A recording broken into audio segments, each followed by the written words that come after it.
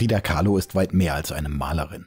Sie ist einer der Superstars der Kunst des 20. Jahrhunderts. Stilikone, selbstbewusste und selbstbestimmte Frau, Feministin, Streiterin für soziale Gerechtigkeit, Vorbild. Sie ist die bekannteste Malerin Lateinamerikas.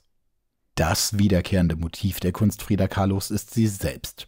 Trotz Ausflügen in die Welt der Stillleben und der surrealistischen Allegorien bleibt das Selbstporträt, ob puristisch oder szenisch erweitert, lebenslang ihr wichtigstes Thema. 1907 als Tochter eines deutschen Einwanderers und einer mexikanischen Mutter geboren, führte sie von Anfang an ein bewegtes, oft hartes und, vielleicht in der Folge, waches Leben. Mit sechs Jahren erkrankte sie an der Kinderlähmung und musste neun Monate im Bett verbringen. Die Folgen der Erkrankung blieben ein Leben lang spürbar und auch sichtbar. Ihr Vater, ein Fotograf und Hobbymaler, förderte das künstlerische Talent Friedas schon früh mit bester Schulbildung, gestalterischer Ausbildung und Ausstellungsbesuchen. Die junge Frieda zog es dann in der Folge zur Kunst und zu den Künstlern hin, zur Lyrik und zur Literatur. Und sie malte.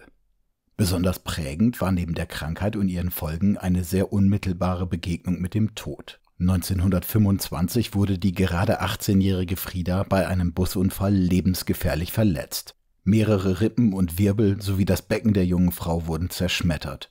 Behinderung, Krankheit und Tod waren von nun an keine abstrakten Begriffe mehr, vielmehr wurden sie bestimmend für ihr weiteres Leben.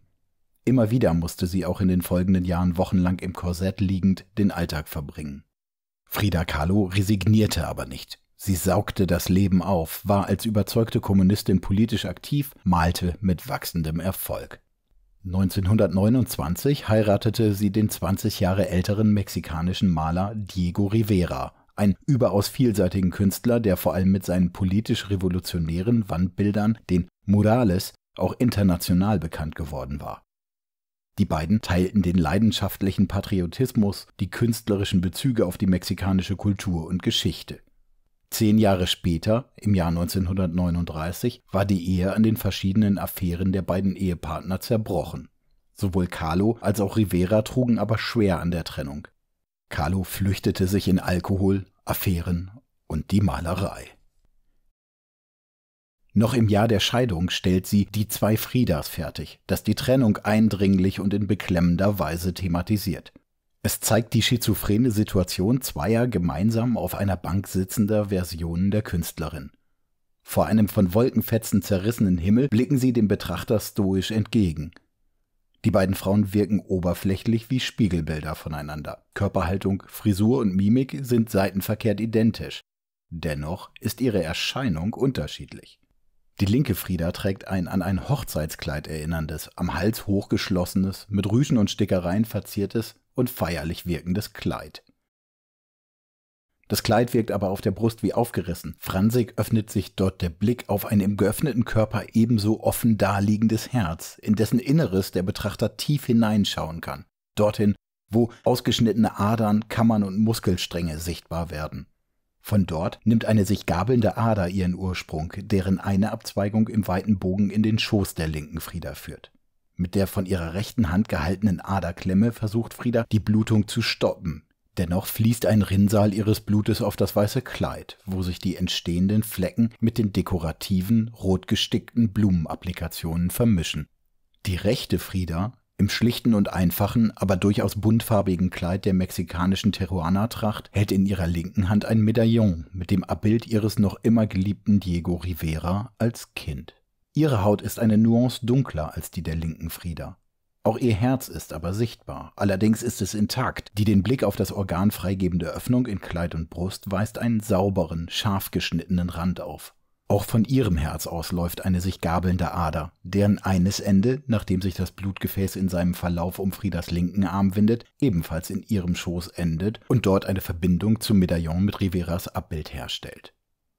Abgesehen von den verschiedenen Kleidern finden sich die Unterschiede also in den Details, den Einzelheiten der Darstellung.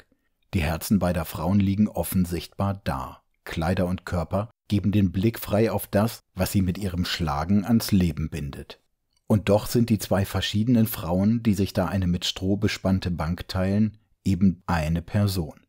Ihre enge Verbindung verdeutlicht die Künstlerin auf verschiedene Weise so liegen die sich haltenden Hände, für sich genommen ja schon ein Anzeichen der emotionalen und physischen Nähe, im geometrischen und optischen Zentrum des Bildes. Aber auch die zwischen den Körpern durch den Raum verlaufende, die beiden Herzen verbindende Ader verknüpft die Lebensbahnen der Frauen miteinander. Wohin führte aber die abgetrennte Ader? Vielleicht schloss sie einst den Blutkreislauf hin zum Medaillon, zu Rivera, von dem sie, die Verstoßene, sich nun wie bei einer Geburt abnabelt. Wen sieht der Betrachter also in diesem doppelten Selbstporträt? Wer sind diese beiden Friedas und warum überhaupt zwei? Eine kohärente Deutung gestaltet sich schwierig, obwohl die Hintergründe der Werkentstehung hinlänglich bekannt sind. Frida Kahlo selbst berichtet in ihrem Tagebuch, sie habe sich in ihrer Kindheit eine imaginäre Freundin erfunden, als Beistand in den einsamen und schweren Stunden ihrer Krankheit. In der Tat gibt es verschiedene ernstzunehmende Hinweise auf eine zwiegespaltene Persönlichkeit der Künstlerin. Es war ihre Jugendliebe Alejandro Gomez Arias, der über sie schrieb, Frida Kahlos Persönlichkeit sei so vielschichtig und widersprüchlich, dass man sagen könne, es gebe viele Friedas. Die kryptisch rätselhafte Darstellung in Die zwei Friedas legt nahe, dass Frida Kahlo selbst auch eine unscharfe, widersprüchliche Wahrnehmung der eigenen Persönlichkeit hatte. So verweisen diese beiden Friedas vielleicht auch zugleich auf das kulturelle Spannungsfeld der Herkunft der Künstlerin. Ihr Vater war in Deutschland aufgewachsen und von dort ohne Blick zurück emigriert. Ihre Mutter war halb spanischstämmige Mexikanerin, halb Indigene. In Frida Kahlos Identität ist also, mit allen entstehenden Konflikten und Widersprüchen, ihr europäisches und südamerikanisches Erbe vereint. Diese Dualität ihrer Identität ist ein zentrales Element dieses Gemäldes und auch immer wieder ihrer anderen Werke.